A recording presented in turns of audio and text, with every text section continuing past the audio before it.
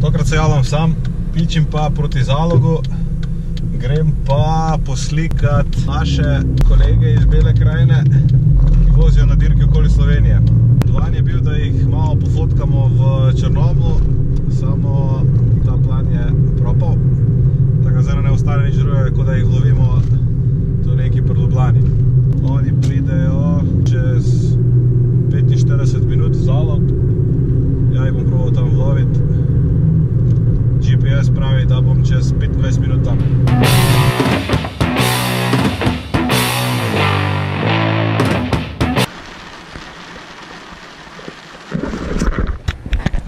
Imamo mene na lokaciji, trenutna situacija je um, zelo mokra. Upam, da se dež malo umiri, dok pridejo. Imam pa še eno 15 minut cajta.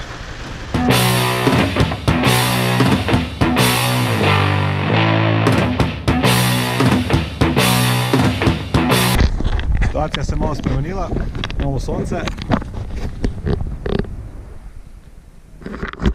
Tam lije. Evo ga, spremljam, kje so naši dečki, še malo pa pridejo v crklje. Ja jih pa čakam tukaj pri zalogu. Vidim, muziko že čujem, kamero bom postavil na tla, pripravil fotoaparate in gremo v akcijo.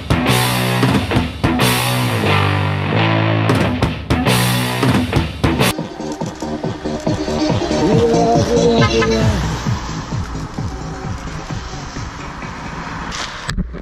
je to, to je šlo jako na hitro. Gremo jih probati, če kje vlovite. Trenutno jim sledim. To ispred so to pičijo ko nori. Probajmo še v komendi poslikati, da bom še kako sliko več. Evo ga, ratalo mi je pri križu. Um, zdaj pa pičim domov zmontirati ta video. Jutri pa ima, da jih vsi prijete pogledati, ko preko greš čez Črnomelj.